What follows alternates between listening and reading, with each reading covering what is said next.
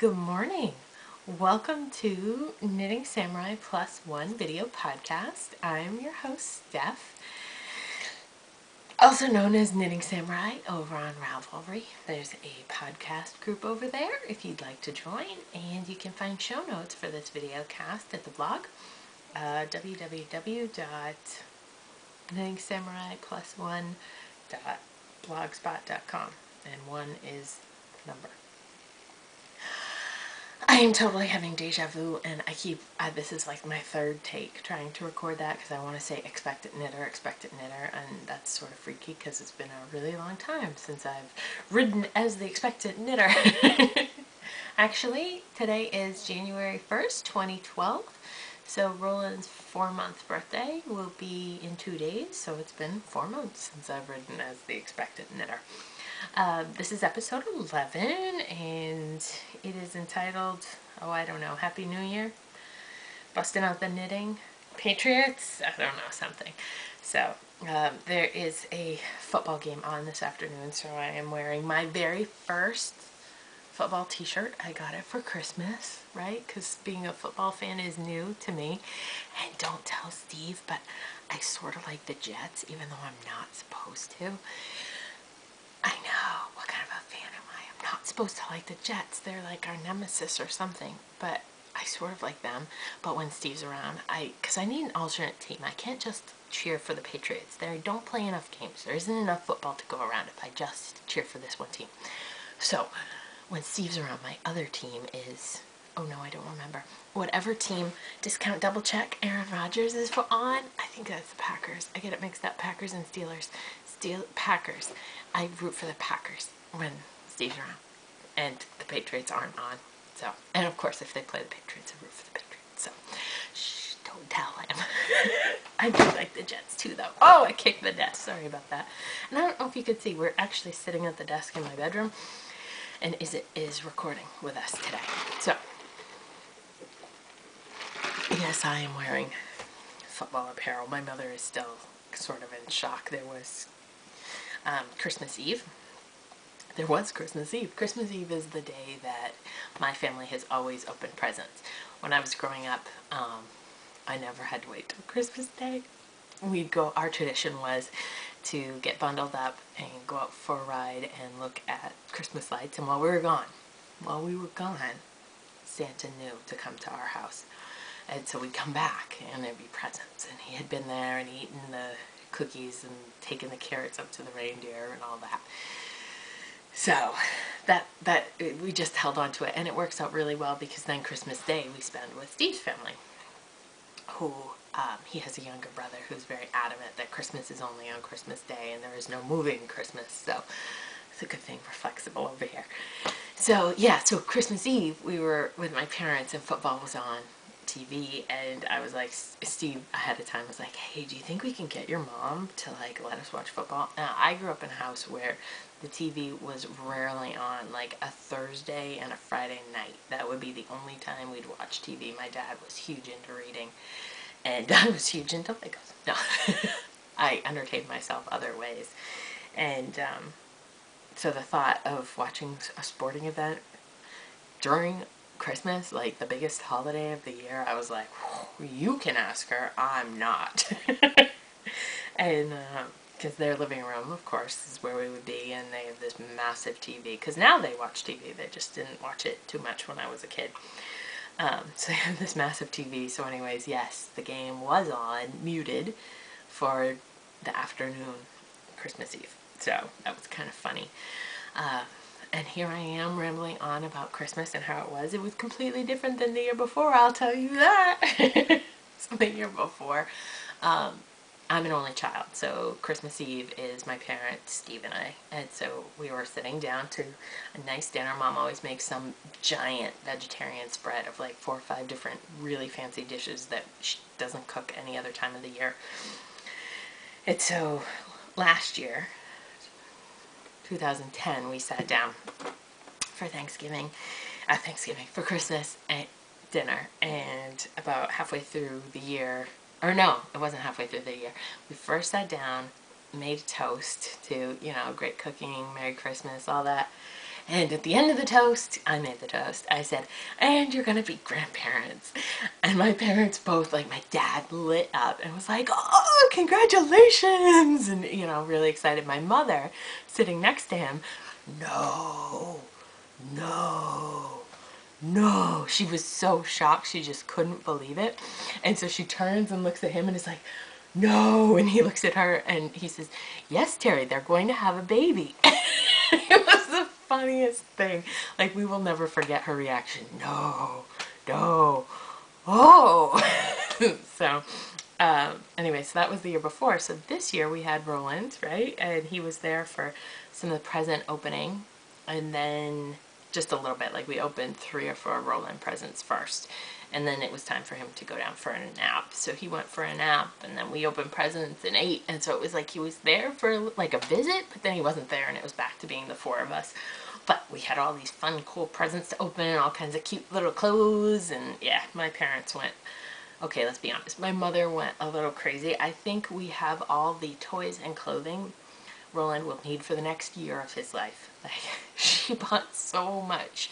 And diapers and like anything she could think of, she just bought. And it was so sweet. Bibs, like all kinds of goodies. And totally appreciate it. But it was like, holy cow, this baby made out. And how are we getting this all back in the car? Because we stayed with them for the holiday weekend. So anyway, so that's that. And then the next morning, we packed up Roland again and made the two hour drive up to Steve's parents' house and had Christmas with them and his brother and sister-in-law Skyped in from, they live in DC, so they Skyped in and we had a nice day all together and some interesting cool food and then of course Roland got more toys. This, uh, oh I don't have it in here.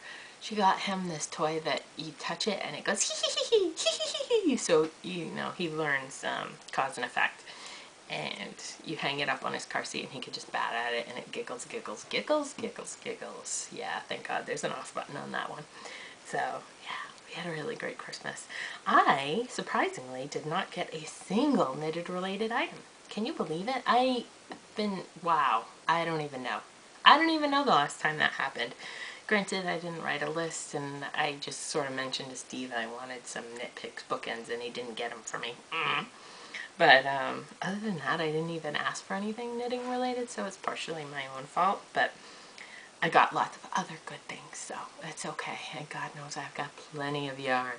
So that is my ramble. That is my recap of Christmas. I didn't even mean to start there, but it just went that way.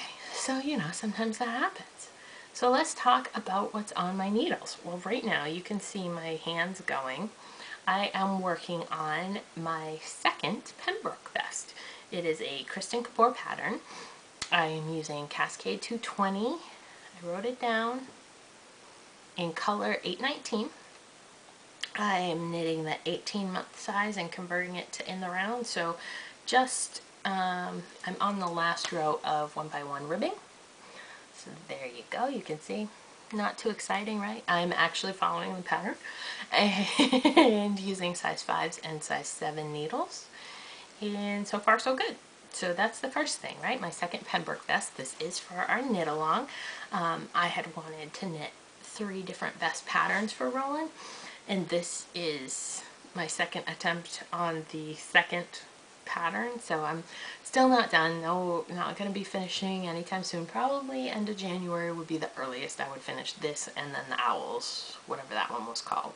The Owls Vest. I want to knit that too for him. And I have learned that um, he's wearing 12 month size clothes right now and so there's one vest that I finished, the Oz vest. He can wear that now. But um, maybe I'll make the 12 month size and the Owls too. I mean, there's still, it's January. We've got another three, four cold months, four months of cold weather here before, you know, it's warm enough to hang out in the rest of the house without layers, lots of layers on. So maybe I'll knit the 12 month size in that too. But anyways, um, so this is my second Pembroke, which means, can only mean one thing. The first Pembroke is finished. So, let me do up my buttons here. Finished, ends woven in, um, photo shoot taken. I think I loaded the pictures onto Ravelry already. But so here it is. This is the Pembroke. It is the 12 month size. Um, again, Kristen Kapur. The yarn is Knit Picks Swish DK in the color Asparagus. I knit it on size 5s and size 6s. It's a super stretchy little vest. Um, the I buttoned it real fast before I showed it to you so that you wouldn't see. See, I used these wooden, these blue wooden buttons. Yeah, after I blocked it, I laid it out flat to dry and you can see it a little bit. The dye from the buttons ran all over the sweater. So I walked into the laundry room and looked at it and there were these big blue circles.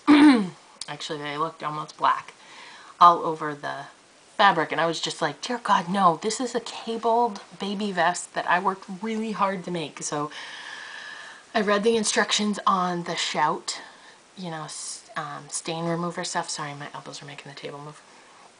On the Shout box and I was on the bottle and I was like, oh God, do I dare do this? And I was like, well, it looks so crappy anyways with these two big inky black blue spots all over it that it can't get any worse. So I sprayed it, I let it soak, I washed it again, I, just that part of it though. And then I blue dried it because I wanted it to dry really fast to see. And it's not that bad. And actually buttoned, you can't even, it, I mean, it's there, I know it's there, but it's not that noticeable. So here's what I have to say about this vest, other than my uh, button foot pot. And I did twist the cables on the outside opposite each other instead of the same way so that these would carry up and go over the outside, the straight ones the only pattern change I made other than knitting it in the round as well. But I finished this. This is the 12 month size. It looks adorable on him. It fits him perfectly. It's not like, well, width-wise it fits him perfectly. It's not too stretched because sometimes they look like that, but it is definitely short for him. So um, you could see in, use my shelf here to display the item. Um, you can see in the pictures I took on my Rev page that for this, that from the back. It doesn't, it barely covers the waistband on his jeans. And uh, to get the pictures to come out nice, I tugged it down in the front so it would look good, but definitely like when he's laying there all stretched out, about that much too short. So from the place where the elastic band on his pants is and then the denim fabric, about that much of that shows, which is more than I would like for a cute like you know, it's a little bit of a formal outfit. But And it's funny, when he has it on his cheeks, he has no neck. None of the men in, in Steve's family do. But, um, well, Steve has the most neck of all of them, I should say. um, his, between the no neck and the big, giant, giant cheeks that he's got, they just sit on it and you can't even tell it's a v-neck. So it's really fun. So I'm knitting him the next size up, hoping it'll be long enough. And if it's a little loose because of the ribbing, so be it. Whatever, the ribbing will cinch in. Because this fits him perfectly. And I think the difference in stitches is like 25 stitches. So we're talking about, what, three inches more maybe? It'll be fine. It'll be fine because that boy is growing like crazy. So when I, so I've decided that this is the one that's going to our friends that had the little boy. He's three weeks old, four weeks old now, four weeks old. So this will be perfect. Like he can grow into it or it'll be a little loose. That's fine. So he's getting that. And then after I finish this vest, I cast on, haven't blocked it yet though, cast on for a matching hat. So here you go.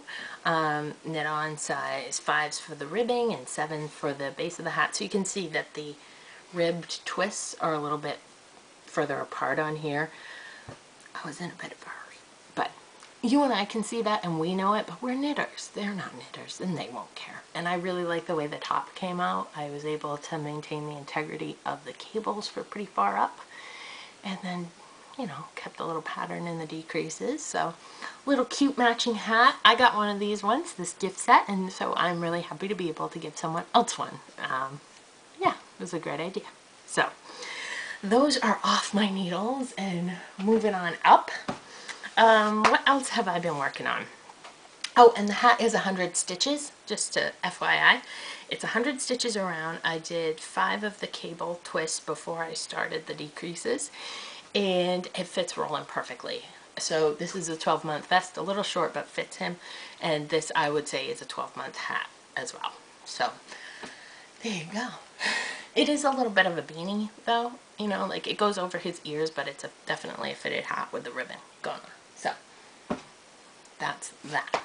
Um, in not baby knitting, I have also been working on my delivery socks. So we had some, we obviously a four hour car ride, two hours to the in-laws and two hours back.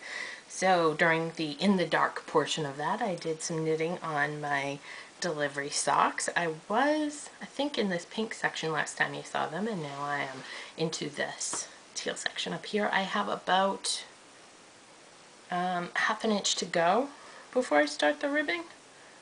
No, an inch, an inch. Let me just line it up. Yeah. So the ribbing starts in the pink at the end of the yellow. So I've gotta finish the blue and then move on to the ribbing and then slap in an afterthought heel. You can see my placement, the yellow right there. And they will be done. So these have gone smashingly. The yarn is three use twisted in fiber in the Harry Potter colorway. I still don't understand that name.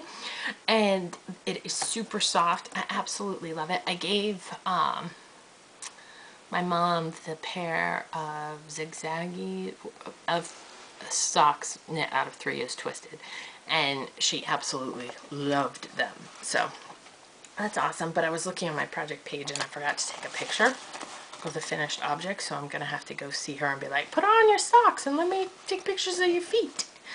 So anyway so that's where those are at. They should be done next time I bring them out. I don't like to show them to you unless I have some sort of progress like substantial progress because it's a straight sock and a sock.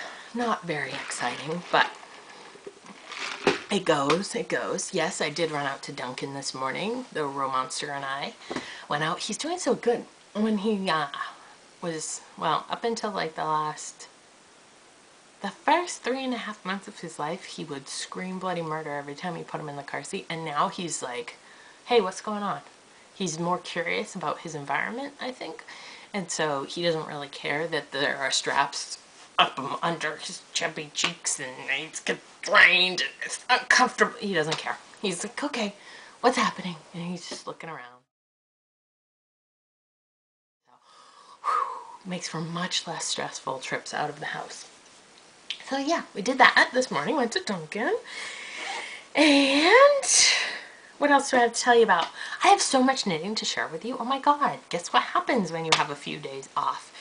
And I told you about having working from home on Fridays. I start that next Friday, so that will be awesome. Has nothing whatsoever to do with what I'm about to show you, but I just threw that out there. Uh, remember I had talked about the um, these socks that I'm knitting. These socks. Wait, I didn't write notes on my show notes because I knew. Oh yeah, I knew I had notes in my bag. Yeah, so I write. I have this great little notebook. Has magnet. I got it at Barnes & Noble. Or maybe Borders. I don't remember which one lives closest to me, but I love it. So it has this little whoop, and I write my pattern on it. And usually I carry this around in the bag, but then when I have too many going, I uh, write it down, write down the pattern and rip it off, rather than printing out a whole page. And nine times out of ten, I end up memorizing it by the time I'm done writing it. For some reason, writing it helps me learn patterns better than actually knitting it. Like, I'll, I'll get it eventually knitting, but I'll get it faster. I'll see the repetition easier if I write it. So, these are the Giles Wavy Socks by Ann Campbell. I am using Online Super Sock in the Lavender Fair Isle color, number 1178. So, I have loved this color forever. And typically I think of online, how to say this nicely, as an inexpensive yarn. but um, I was at WEBS once in the warehouse section and that's the only place I've ever seen online. Um, in the warehouse section and I saw this color and I fell madly and deeply in love with it. And it's weird because it's not my typical colors. I don't know if you can see it, but it's like this pink and mauve and deep purple and then this what shade of green would you call that? Like a, a, te a teal green? I want to say Lopus, but I have no idea what that looks like. Just this really deep saturated teal green. Anyways, so I've had this sitting, skeined up in my living room. Like, I have very little yarn out in my house. Um, skeined up in my living room in a place of honor next to the TV and like this decorative basket that holds, it's not a, it's like a, it's a cast iron wire basket that you can see into that holds 10 skeins of yarn. So like the 10 juiciest, prettiest yarns I have sit in that. And this the inexpensive online sock yarn has been sitting in there for a very long time because even though it isn't like pricey, it's still very valuable to me because I love the color. Okay, so there's the background on this. So I cast it on and after I cast it on, using US size 1 2.5 millimeter needles, I realized that um, I have a lot of socks and there's a very dear friend of mine that I would like to give some socks to. She's uh, she's a knitter, but she's not a sock knitter, and so those are the best people to give socks to, if you ask me, because they understand the effort and they're very appreciative. But you gotta get them to fit right, or they really are like, "Why did you bother doing this?" But anyways. So I cast them on and started knitting them and oh I love them and look at how the color is going and oh it's so pretty and I'm so happy with it and then I got this real altruistic moment. Oh look! Sorry, shiny. This is the toy. Go ahead, be in a bad mood. okay, turn that thing off. Oh, and then Steve got him this toy. It was highly recommended on Amazon as one of the top children toys. It's this wooden, they call it a fish. Would you call this a fish? And I opened it at Christmas because, you know, yeah, I had nothing to say because everything I had to say was completely inappropriate about my uh, little flaccid fish here. Thanks, Steve, for giving Roland, our son, a flaccid fish to play with that has a smiley face on it. Okay, enough of that. Um, string bean is still the best toy. And don't forget the beloved, oh, she's she's been strangled, Sophie. He loves Sophie. I think all kids love Sophie though. Anyways, okay, back to my point here. These socks. Um, so I get going them and I had an altruistic moment and I was just like, you know what? I should knit them for her. And so I, last time I showed them to you, I told you they were a gift for somebody. And they're going along lovely, lovely, lovely. And it's a really fun pattern to knit. Um, I think it's every fourth row is the patterning. So you have some like rest, you just buzz through it and do it. So we're in the car and we're driving up for Christmas and I'm doing this because it's daylight and I can see what I'm doing. I didn't want to pull out the headlamp, you know. Sleeping baby and all. And um, I really, I started, it felt like it was about time to start the gusset increases. Okay, so I do that. Toe up, gusset increases. I do my heel flap. I get up to here and I start to finish the leg. And it occurs to me looking at it that, man, that really looks like one of my socks. And so I finish, or I measured it, and yep, sure enough, I had gone what looked like the right length, yeah, for a size 11 sock, because that's what I'm used to knitting. I should have done about an inch less of the toe of the foot to fit her because she does not wear my size, my shoe size. So rather than ripping back, I was about here when I realized that. I said, okay, well, I have lots of tall socks. I have lots of socks. I like short socks. Um, those are probably the ones I go to the most often, so let's just make these short socks and move on. So they started off being really altruistic and I was going to give them away and be a good, kind person. But they're going to stay with me. I really didn't mean to do that. like there are times when I do things and I'm like, whoops, I really didn't mean to on this. And I'm very tempted to uh, set this aside and cast on something else for her because I really like the idea knitting her a pair of socks because I think she would really appreciate it. So you may see these again. You may see its mate get cast on or I may set it aside and you won't see it for six months until I finish her pair and then come back to these. So that's the thought there. And the, I call them weenus socks, but they're not. They're the wavy Giles, whatever, I said it already. So there, and then, because when I have free time, what do I do? I knit, I knit, Roland knits with me. Um, I bought him these onesies from Children's Place that are white and then they have every day of the week. It was a seven pack. So it's like I love Monday, I love Tuesday, Wednesday, Thursday. And the hearts are all different colors and they came in this bag and I was like, oh yeah, so cute. Gonna be a knitting bag. So this is what I got out of it. I love every day and he loves whatever day we're on. And of course I don't care. And babies wear like three, four, seven outfits a day. Like as often as he spits up and gets it on the collar, we change it. We don't, because of that neck, the roll sitting on the collar, it's, no, we don't leave him with anything wet on his neck. We learned that lesson. Um, so we change him all the time. So who cares if he is wearing Tuesday on Thursday, whatever, it's going to get washed and he can wear it on Thursday when Thursday comes. It doesn't matter. Oh no, no, no, that won't work for Steve. He has to wear the day he's on. And like yesterday was Saturday, he wore Saturday got up this morning. He hasn't had his, you know, dress for the day for the game yet, but so he's still wearing Saturday and it's Sunday, and I know it's bothering him. I know it is. And if I let him go wake Roland up from his nap or pick him up when Roland wakes up from his nap, I will find a baby in an I Love Sunday shirt instead of an I Love Saturday shirt because he's so silly, that husband of mine. Anyways, okay, so yesterday, Roland and I were chilling and he got a gem for Christmas and he thinks like the rainbow forest gem he thinks that is the greatest thing he will lay there tummy or back and like stare at the animals that are hanging above his head and hit and yell and kick and he is just like in heaven.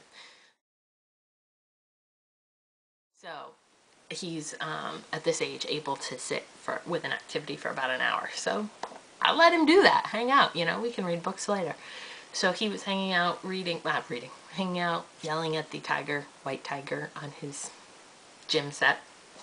And I was watching Around the Twist with Karen because everybody loves her on the Twist. And you know, she's the only podcast I really religiously kept up with while I was on maternity leave. So that's how much I love her. But I fell behind over Christmas. So I had like three episodes back, back to back to back to watch. And as I was watching them and she was working on her Haunted Vineyard um, Hitchhiker shawl for the Knit Girls Knit Along, another wonderful podcast. I don't have to tell you that. Um, as I was watching her knit on that, I was like, I want to knit on that. I want to do it. I want to do it. Because, you know, I ordered the yarn but didn't cast anything on. And so by the second episode of watching her working on it, I had cast one, cast it on too. yes, so I want to be like Karen. I want to have the same shawl. I know a lot of people are knitting it. There were 10 patterns to pick from for the knit along. And so inevitably there will be several Haunted Vineyard hitchhiker shawls out there. And it's funny, every time I wear a shawl to work, they all freak out and they love it. And so it's like, well, why don't I wear more shawls? So here I am. Here it goes. I have, I don't know how well you can see the color. I am using US size 4 3.5 millimeter needles. The pattern calls for 3 millimeter, but I didn't want to. Just to be honest, I didn't want to. Um, my interchangeables go down to fours. I thought a four was small enough, so that's what I did. Um, yeah, I love my knit picks. So cast on yesterday morning, I'm going to say, and I have 3, 4, 5, 6, 7, 8, 9, 10, 11, 12, 13, 14, 15, 16 points. Let's write that down and this is um, an 80% superwash, 20% nylon. It's a little um, crunchy. I'm hoping that when it washes it will be less crunchy. But I love the color. It's really pretty. I don't even mind that bit of pooling, which is unusual for me. I think it's going to make a very lovely shawl. So, so far, wait, hold on. You definitely need to see this next to the Patriots. I mean, it's perfect together, right? This is totally how I'm going to work. Um, yeah, so it'll go around. and I like that this edge sort of has a curve to it.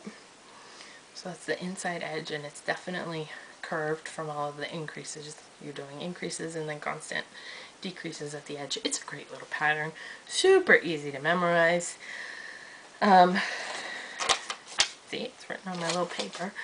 And yeah, I think that's about it for this. So I have 16 points. I'm supposed to go to 42. It will go slower, of course, from here on out, and I am a shedding fool all over it. Um, but yeah, that's where it's at now. So, aren't you glad I waited so long to record? Gave myself some time to get some knitting content to show you. It's nice to have lots of things to share because the knitting time is definitely cut down. So, moving on, let's talk about 2012. What about your knitting goals? Do you have any? I went to lunch with some coworkers last week and one of them is just, she's a riot the way she, it's like she must read some book that says, here are top conversation starters. So she's like, where would your dream vacation be? What would your dream car be? What's the best car you ever owned? Like, so we go out to lunch and she's asking, what are your 2012 New Year's resolutions and no weight loss ones? And so people are like, there were five of us sitting at the table and people are saying them and I was sitting there thinking, mm, I don't have any resolutions, but I do have knitting resolutions. So here's my thought. I would like to knit um, 12 sweaters, vests, tops of some sort for Roland in 2012, right? 12 is not hard. I've already knit him several sweaters.